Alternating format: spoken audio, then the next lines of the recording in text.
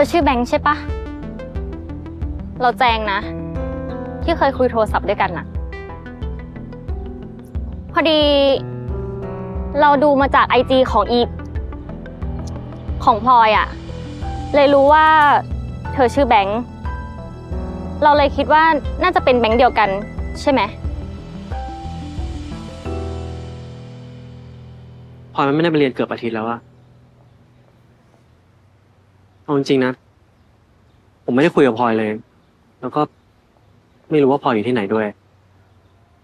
เพื่อนเธออยู่กับแฟนเราเองอะ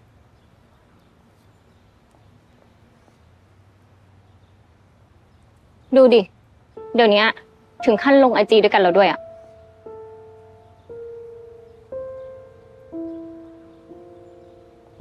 แล้วทำไมคุณไม่ตามจากแฟนคุณอะก็เพราะว่าเราติดต่อไม่ได้ไง เราไม่รู้จะไปหาพวกนั้นได้ที่ไหนอะ เราไปรอพลอยหน้าพายเมนทุกวัน เราก็ไม่เจออะ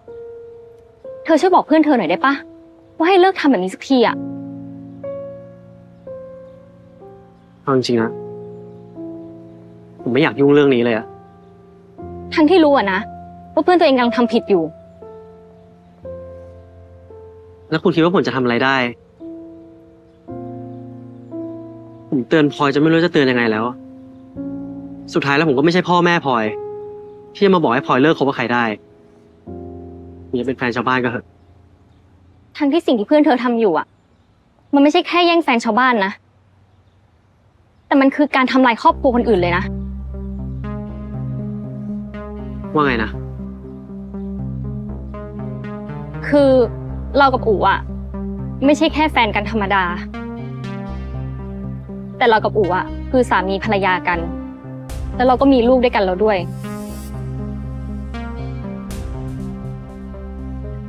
แต่เพื่อนเธอคงไม่รู้หรอก คงไม่มีใครพิมพ์เรื่องแบบนี้ ในแอปหาคู่หรอกจริงไหม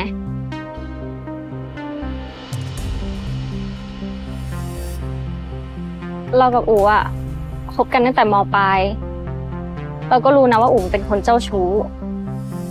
ตอนแรกเราก็ไม่ได้คิดอะไรอะกะว่าคบเอาสนุก สุดท้ายเราก็มาพลาด ตอนที่รู้ว่าเรากำลังท้อง เราก็คิดนะว่าจะเอาเด็กออก แต่พ่อแม่อู๋เขาขอไว้ เขากลัวว่า ลูกของเขาจะบาปติดตัว เขาก็เลยบังคับให้อู๋รับผิดชอบเรา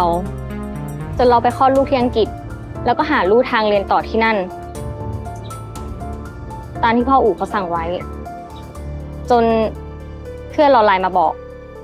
ว่าอู๋มันไปมั่วกับคนในแอปหาคู่ ล่าสุดกับเพื่อนเธอนั่นแหละ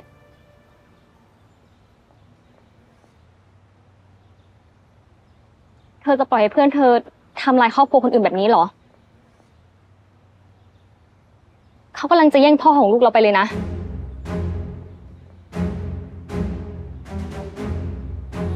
ทั้งที่